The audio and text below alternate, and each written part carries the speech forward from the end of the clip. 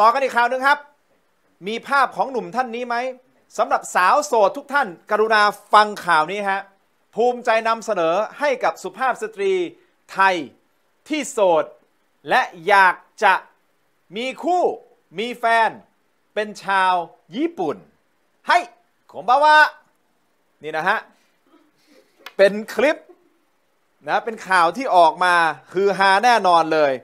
Facebook มาโคโตเอนโด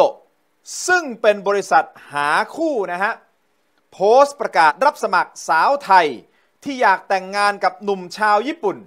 นะฮะ เนื่องจากเป็นหนุ่มโสด โปรไฟล์สุดปังเจ้าของสวนองุ่นและเชอรี่ มีรายได้หลักล้านที่สำคัญนะครับ อยากแต่งงานกับสาวไทยเป็นอย่างมาก อยากรู้แล้วใช่ไหมฮะ ว่าโปรไฟล์หนุ่มคนนี้เป็นอย่างไรเราไปดูกันครับ หนุ่มคนนี้มีภาพไหม ไม่มีค่ะอ๋อไม่มีอ๋อเขาเขาไม่บอกอ๋อเขาไม่บอกหน้า ใช่เขาไม่บอกหน้าแต่บอกโปรไฟล์อายุ แล้วก็โปรไฟล์อย่างอื่นนะฮะเอามาฟังกันโปรไฟล์เป็นยังไง หนุ่มคนนี้อายุ 39 ปีครับ เป็นลูกชายคนเดียวของเจ้าของสวนองุ่นรุ่นที่ 3 บริหารสวนองุ่น 4 แห่ง สวนเชอรี่อีก 2 แห่ง อาศัยอยู่ที่จังหวัดยามานาชิ มีอาชีพเป็นพนักงานบริษัท รายได้ต่อปีอยู่ที่3ล้าน8แสนเยนหรือประมาณ1ล้าน1แสน3หมื่นบาท เงินเดือนประมาณ 9 0,000ถึงแสนหนึ่งเลยนะฮะ นี่คือเงินเดือนของเขานะครับ อันนี้ต้องบอกว่าไม่เกี่ยวข้องกับสวนองุ่นนะฮะ นี่คืองานที่เขาทำประจำแต่เขายังมีสวนองุ่นอยู่นะครับ ขีดเส้นใต้ไว้ตรงนี้นะฮะ ไม่รวมรายได้จากสวนที่ดูแลอยู่นะครับอ่ายังมีบ้านเดียวอีกนะฮะเป็นชื่อของตัวเอง ไม่มีประวัติแต่งงานมาก่อน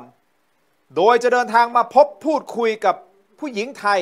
ที่ชินจูกุโตเกียว ในวันเสาร์ที่ 14 พฤศจิกายนเวลาบ่าย 3 โมง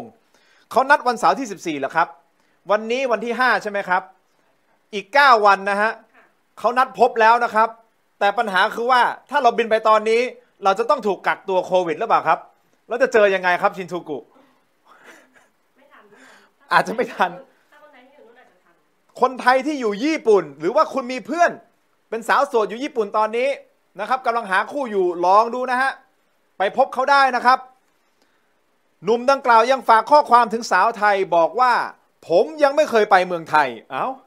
ไม่เคยไปเมืองไทยแต่อยากได้สาวไทย เป็นภรรยา เขาบอกว่าอยากลองไปสักครั้ง อยากลองทำสวนองุ่น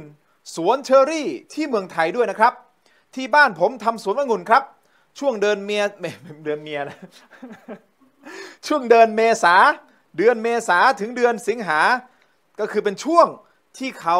ทำไร่องุ่น